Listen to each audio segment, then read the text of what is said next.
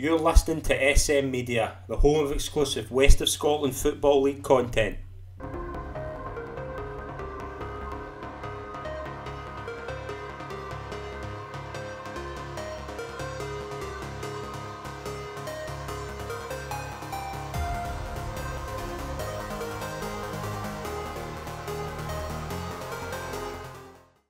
Hi, folks, and welcome to part three of our West of Scotland Football League Premier Division season preview on SM Media. I'm Scott McPike. It's an absolute pleasure, as always, to join you. We are going to take a look at the following four teams in this episode of the show. We're going to take a look at Pollok, and we spoke to their manager Murdo MacKinnon about their hopes for the season ahead.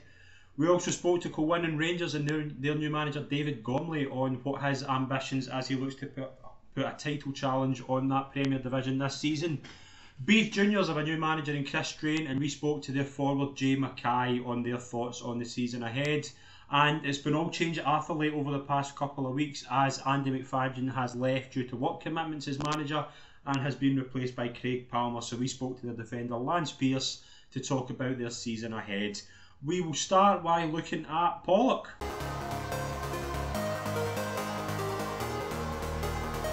So delighted to be joined by the Pollok manager, Murdo MacKinnon. Murdo, it's a pleasure to welcome you on to the season preview. Thank you very much as always. Thanks very much for having me. Thanks for asking me. Good to be back. Brilliant. It's a pleasure as always. Overall, last season finishing third in the league, it was probably it's probably a good season in retrospect, wasn't it? Um, okay, Paul, we're always looking to win things at Pollok. You know, we led the league for, for, for a good while. Um, so overall, we were a bit disappointed to be totally honest with you how how it um, how it ended. But you know, um, over, listen, the league's a very very strong league with a lot of lot of excellent sides in it. You know, so um, it would be arrogant to sit there and say you should have won the league, you should have done this, should have done that. But it's um, we didn't, so we need to be better this year. That's for sure. But um, third overall, it's um, it, it, you know, twenty team league. It was something I've never experienced before. So it was. Uh, it was tough, really tough, really tough. We're obviously we're obviously down to a 16 team league this season, so it's one thing when you look at the league how competitive it is. It's just stacked from top to bottom, isn't it? Aye, absolutely. You know, I think even the 20 team last year, you know, I was I was saying to uh, kind of staff and Budgie and, and, and Baggis and stuff like that, the work ways and um, that any team can beat any team in, in this league, Scott. If you're not on it, you know, any anybody can turn you over, you know, and um, but the, you know the, the quality that we're getting into the league, you know, and the teams that we've got in the league are you know all quality sides, all really good teams, you know, uh, playing different ways, and they've got really good players within them and stuff like that, you know. So I think our game and uh, our league, uh, you know, has is improved. You know, I think it, I think it's uh, it's a really really good league, really good players in it, and um, I think the standard of the football, I think the standard of the facilities, I think the standards overall have have gone up you know, um, for sure, you know, and and again, I'm, I'm, I'm imagining this year will be no different. Yeah, big big season for the club as well. Obviously, getting the SFA membership. How big was that to get that through? I know it was something you were really working towards. Oh, brilliant! Uh, you listen, a lot of people behind the scenes done a, a, huge amount of work. You should take a huge amount of credit. But a club uh, our stature, you know, we, we need to be looking to move move forward. Uh, we're in a pyramid system now. And I think, you know, as a club, we need to look to be trying to progress uh, to play at the, the, the, highest level we can. Uh, and getting that license was was so important. Um, you know, a pinnacle of that last year was obviously we got the floodlights put in and we played that um, cup tie with, with Clydebank under those in the Monday night, big crowd there. And um, it's the first, obviously, with the experienced Newlands field under the lights and stuff. And it was always been a ground to play football in, But under the lights and that, it was just special. You know, it was absolutely brilliant, absolutely terrific. So we're hoping for many more of those nights and hopefully that license and the Senior Scottish Cup can bring up. Yeah, absolutely. We'll talk about your uh, your transfer business so far. A lot of a lot of ins, a lot of ins for the kind of leagues above, like Sir Sean Burns for Stranraer, Scott Rumsby for Clyde, Fraser Mullen for Cowdenbeath, just three that catch the eye. I mean, there's a lot. How vital was that to get the kind of players in for the kind of leagues above with a bit of experience? Aye, aye. Importantly, we have of experience, but importantly, all the guys that you've mentioned are on the prime of their career. Yeah. You know, we're not bringing we're not bringing guys down for the seniors who are in the late thirties and, and finishing up. in the disrespect the guys that you know are in the late thirties can do because I, I have seen a lot of signings, you know, within that that kind of age bracket. But these guys, you know, really look after themselves. So you know, they're in, you know great physical condition and they can still play. You know, for for sure. Um, but my mindset is I wanted to bring players down within that age gap so that when they came to Pollok, we had we had the best years, you know, um, with them. But they they they've got to still get the best years in front of them as well. You know, but the names you mentioned, yeah, but we brought on, you know, Ryan Cinnamon, terrific player. Ryan and I worked together at Rangers previously when he was a bit younger. Um, along with Dylan Dykes, you know, who we brought on at the end of last season. So we forget about him as well. You know, Dylan kind of came in and he's also, but you know, Burnsy, top class pro. You know, he's been, you know, over 300 odd games in the senior um, senior game. Um, and, you know, Scott Rumsby, as you'd mentioned. But um, we've also, you know, Fraser Mullen, Robbie Buchanan, both playing at Hearts, you know, and, yeah. you know, Fraser's got, you know, um, a great pedigree um, where he, he, you know, he's played in the Premier League. He's played for Hearts. I think he's made, you know, 10 appearances for Hearts in the Premier League played for Hibs also, you know, so we forget about, about that as well. So all these guys will get really good pedigrees, and I have to say they've been absolutely excellent since they've come in the door. Absolutely excellent. Their attitudes, their work work ethic, their you know, they're willing to win. Uh, they're willing to win, and they're um, and that's why they're here. They want to win. They want to win. They want to be involved in something. They're going to go and win games. They're going to go and challenge for cups and championships, and you know, um, so we've certainly upgraded um, in those departments probably other names, you know, like you mentioned there, uh, Ryan Waters, some of the older kind of um, season kind of junior fans will remember his dad, Wally Waters, you know, as a striker. Ryan was playing down south for a wee while and uh, he's coming in as well. So, you know, we'll, we'll, we've, we've got great balance and, and and also bringing Dan Christie back to the club. Mm-hmm. Dan's a short spell with Pollok and then with the COVID thing, kind of moved out on loan you know, maybe SC and Annan then obviously to have the opportunity to go and play in the seniors which with Stenhousemuir last year last year and it did, did brilliantly. So, you know, Dan's come in and hit the ground running. He's been absolutely phenomenal since he's come in as well. So we've made really good signings and every one of them's been fantastic. But you know, I think I think it's important to mention also we, you know, we've got really good players at the club. Yeah. Any before we brought those those guys in, so they're bringing them in to complement the you know the the the, the crux of um, great players that we already have there. You know, so hopefully we can get the right blend and the, we can get the right team spirit, which it seems to be on track anyway uh, to go and make a real challenge. You know, so I'm delighted with the business we've done. Absolutely. We'll finish up with just a, a quick thing as well. The quick quick turnaround, obviously, for last season. I think your last game was something like the 27th of May. To now, what do you think of that? Is it obviously the is that kind of hindering your pre-season, or has it been kind of have you expected the boys to be a bit sharper, or what's your kind of been overall thoughts? Has it been a shock well, to the system for them? we were actually into June. We actually played our last game into So, um, I, I listen. There's no doubt that that was tough. I think we were supposed to finish everything um, by the end of maybe done, uh, so the boys got a decent break. I think overall the boys got a couple of weeks off, got two weeks off, um, and we were back into that was me extending um, the break a wee bit because we, we would normally be back in mid June, you know, kind of second last week in June, something like that. So we extended that a wee bit because, you know, um, the, boys needed a wee bit of time, not just physically but mentally as well, because that 20 team league or the cup competitions we were in and stuff like that, you know, there's a mental challenge with that as well. You just need a bit of downtime, need a bit of time to spend with their families and stuff like that, which is important. Um, so that they're fresh and they're fresh minded when they come back in, to hit the ground running. But balancing that, Scott, was really difficult. Way as you mentioned, I brought eight players down, the majority of them for the seniors. Mm-hmm. Um, apart from one guy I should have mentioned was Stephen Dockery, Um, you know, bringing him in for Petershill. So um, we we um, you know those those senior lads had, had finished football in May, so there's a balance there to be had as well. You know, so they had we had to get them going again. Um, but again, they've looked after themselves brilliantly. There's been no issue with that, but um, no one's no had breaks me. Yeah. that's, the, that's the challenge as a, manager, I'm afraid. So we just need to go on with that. But no, it's been tough. It's been tough. It's been one of the toughest seasons, one of the toughest pre-seasons that I've experienced. If I'm being honest with you, in my time. So, um, but I'm I'm no unique. Everybody's had the same challenges, you know, um, to that. So, um, myself, Pollok, our players are no unique. The, the challenges are shared across the league, and everybody's kind of trying to deal with them in their own way. I'm sure. Yeah, definitely. It's a pleasure to be on, Murdo, and best of luck for the season ahead. Thank you very much. Great to be on. I hope to speak to you later in the season.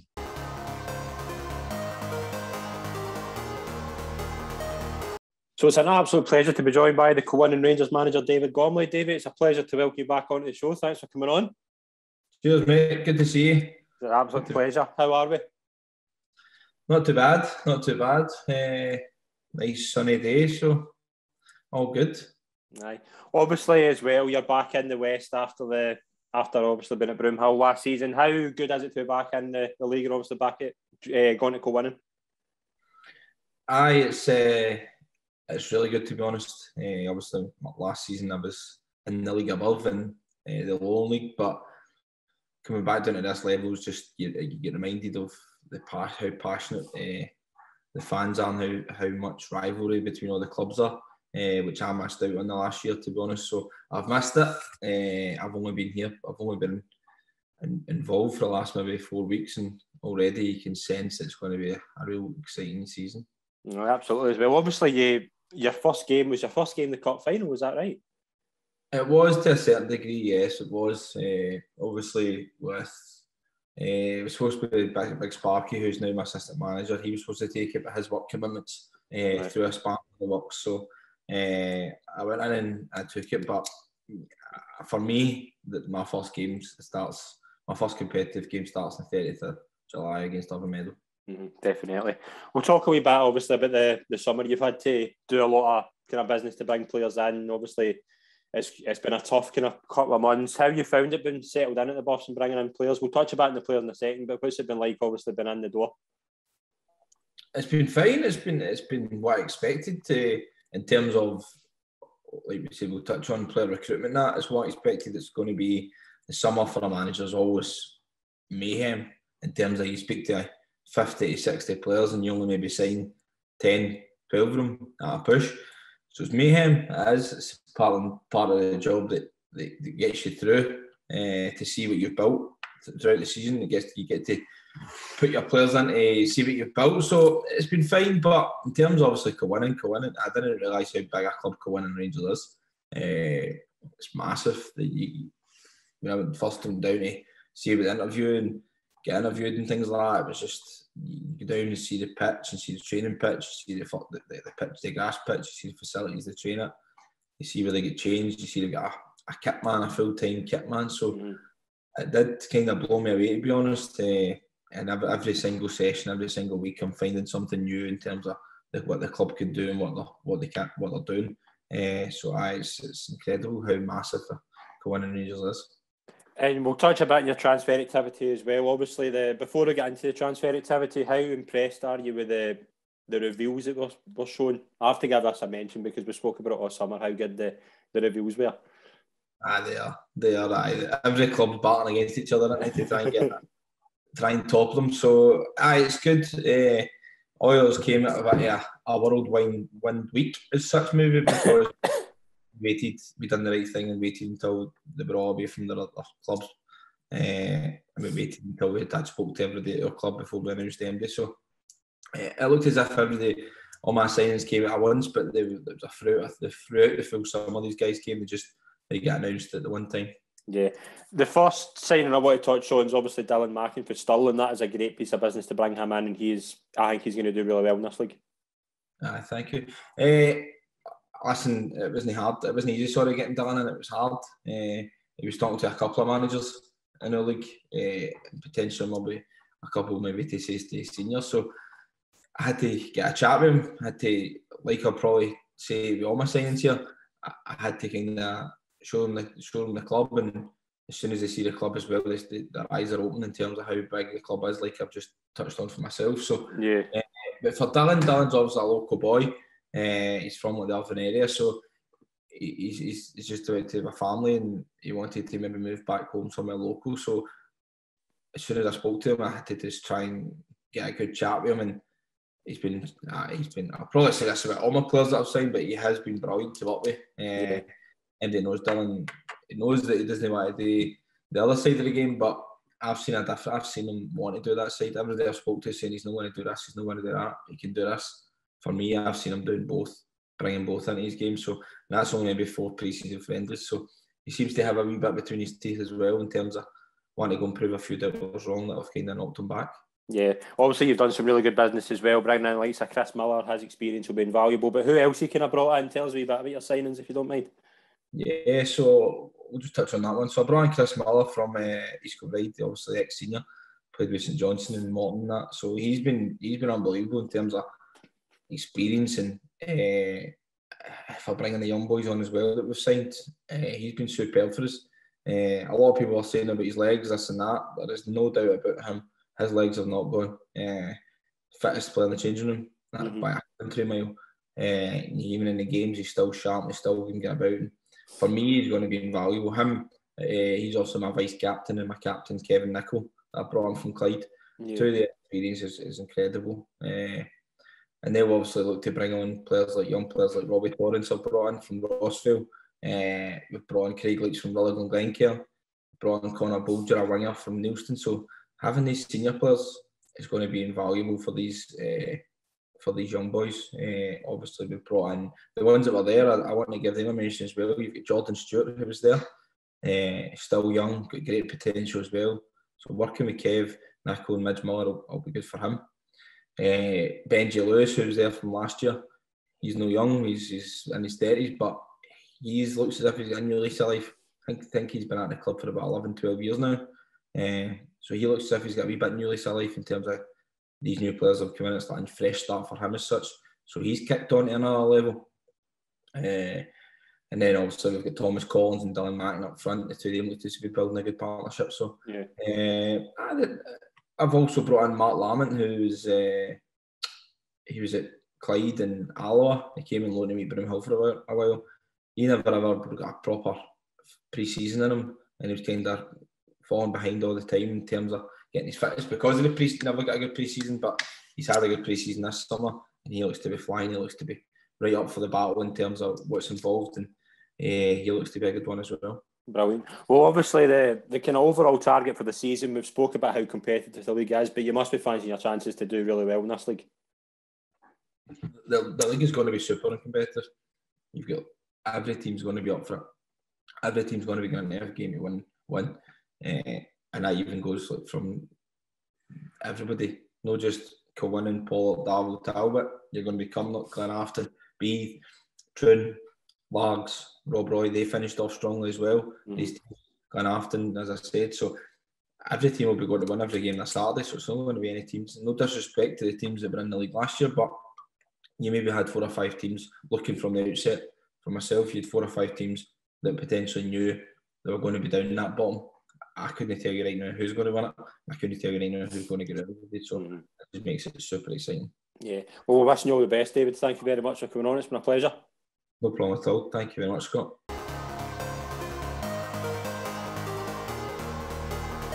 So it's a pleasure to welcome on to the show the Beith forward Jay McKay. Jay, it's a pleasure to welcome you on to the show. Thanks for coming on. Thanks for having me, mate. Thanks for having me. Absolute pleasure. How are we? I'm all good, mate. I'm all good. Bit too warm, but other than that, we're good. So we're recording this in the warmest day in history, so we'll please forgive us if we start sweating. But it was obviously it's been a busy summer. We obviously Butch leaving and Chris Strain coming in as manager at Beith. What's been the kind of overall thoughts on that, and how excited are you to work with Strainy? Aye, well, didn't know much about him. Obviously, you only play against him, but he's came in. Training's been absolutely brilliant. So has his ideas and that about the place been really good. Enjoyed my time pre-season. It's been really good. Brilliant. What about the kind of season last year? Obviously, staying up was the the main thing for every club. How good was it to just secure that? Ah, uh, yeah, I you're saying that, but a club like me, we shouldn't be there in the first place. I think the boys kind of let Butch that down, to be honest, last year. Uh, I don't think we were good enough. Uh, all the boys will tell you that themselves, do you know what I mean? But staying up, got another crack at this year and hopefully kick on a wee bit. It's been a quick turnaround as well, obviously, with the, the season finishing so late last year and starting so early this year. So, what's the kind of thoughts on that? How hard's it been to get your body back to the football I, line? Uh, well, we got a good kind of four weeks, I think, probably four weeks break, and then it's just as I said, straight back into pre-season, hard graft, and that's just starting to get friendlies now. So it's been a bit, probably a week behind schedule, but you, you need to recover as well. That's the main part. Absolutely. One thing as well, obviously, we'll touch on the transfer activity, but you've obviously stayed on Josh Fowler, kind of Kenny McLean as well. How big are you, the kind of front three, and how much he's looking to obviously add goals more this season? Oh, I don't think you're knowing it, but that's me. I'm a number six now, Scott. Ah, yeah. That's the year I've moved in, mate. I can't get a game up front because Ken and Josh keep scoring, mate. So that's me bin to the six. What's obviously the kind of transfer activity? I'll just kind of touch through a couple of players that have been brought in. Rory Laing, obviously for Stranraer. Dale Burgess obviously leaving, so there's Michael McNiven for St Catholics has obviously commanding goals. How what the kind of new players been like? Kieran Coleman as well for Rutherglen's another big signing. What's the kind of new how the new players kind of settled in? I they're all fitting in well. I think we've got a good group there. Um, the boys that are already like Fries and that, we're all kind of good boys, kind of bedding in quite well. Been hard sessions, training that. So now we'll start finding out what people are all about and more the games build up to the season kicking off. So right. we will find out more about the boys. But aye, everybody's getting on well. Just hopefully we get a better season last. Yeah, absolutely as well. How big, you uh, know, obviously known Straney the way the way we do, we know he's obviously a winner and he wants to be at the top. He wants to kind of keep the top club at the top level. What's how what's the been the kind of difference? What's kind of Straney been saying? Is it just been to improve on last year? Aye, aye. Don't want to get ahead of yourselves. It's a difficult league and all, but hey, we're all in it to win things, aren't we? You all play football to win all the players, everybody, we all want to win. So just need to take it game by game. Hopefully, kind of better season last year. Hopefully, at the top end, competing for silverware. Yeah, absolutely. Obviously, what's pre-season been like as well? Has been good to get some games under your belt. I, I played my first one last night, so 90 minutes, man, I'm done in. so I'm on my first one, I'm done in, man, 90 minutes, game tomorrow and all. Uh, but it's good to get the boss back out. Hard work hopefully done now and hopefully kick on, few games, and then kind of I've got a few friendlies lined up the next week or so, and then it's I think it's only a week Saturday to the league starts, so yeah, no long now. Yeah, absolutely as well. Obviously, one thing we've touched on everybody is just how competitive the league is this season. Would you go along with that? Aye, definitely. There's can make a case for a lot of the teams, can't you? People are strengthening and all.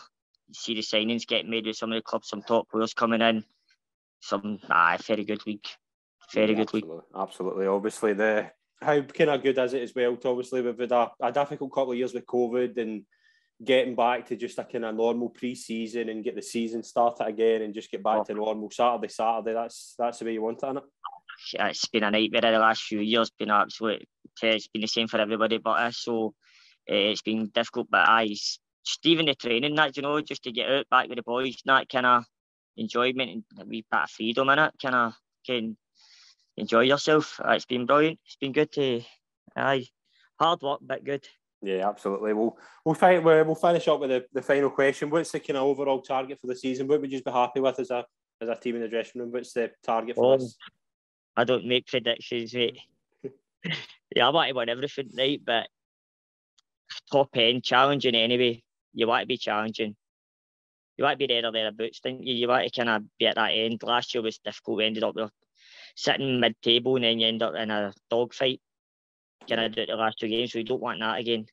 Yeah. Uh, so for me personally, like about the top end challenging and hopefully we'll be there or thereabouts. Well, we wish you all the best for the season ahead. Thanks very much, Jay. It's been a pleasure. Thanks for your time, Scott. Thanks, mate.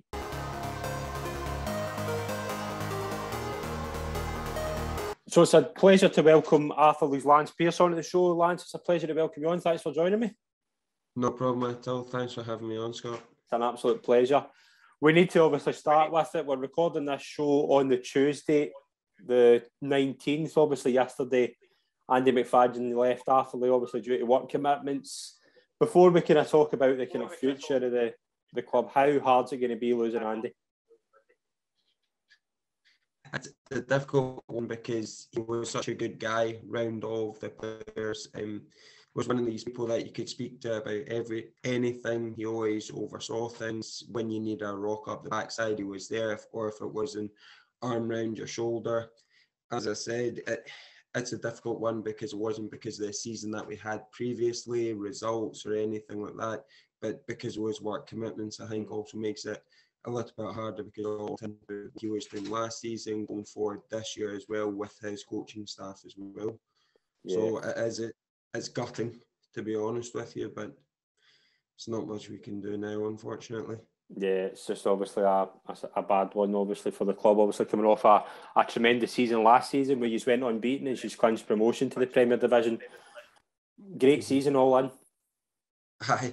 Um, I, I don't think that if you had to say at the beginning of the season, I mean, the goal was to win the league and that was it really. But to then go undefeated, that's just a bonus, to be honest with you, and something that you don't expect. But then as it gets closer, the team are playing well. You're grinding out results when you're in the trenches, etc. As well, it just shows that togetherness and that bond that the players had. That, like I said, we probably got to the last two, three months. You're actually wondering whether or not you could possibly do it. But our main focus was just a game at a time and making sure that we got into the Supreme, which is the main objective for last year.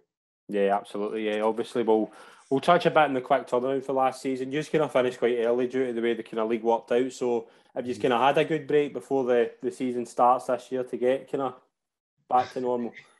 I think when you've been doing it this long, it, the break seems shorter every year. But no, it, it's been it's been okay. The guys have been brilliant with us, and since we've been back in pre-season, because it hasn't been that long, the boys have came back with a good level of fitness as well. That preseason is an old school dinosaur preseason, if that makes sense as well. Don't get me wrong, it's very tough at times, but it is it isn't bad at all. So in terms of the break, it was well needed, but it's also at that stage where boys will go on holiday here, there, whenever they can because of the summer holidays, the kids, all the different factors.